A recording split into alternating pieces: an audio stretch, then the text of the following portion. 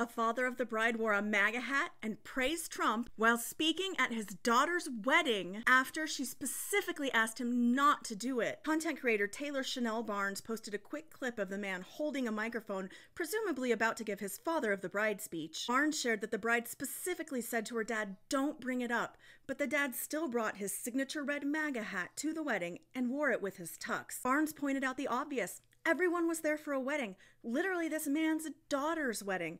Is that the time or the place to make a political statement? Just in case you're wondering, the answer is a hard no. According to Brides magazine, and like the very concept of basic decency and common sense, the father of the bride speech should be all about that.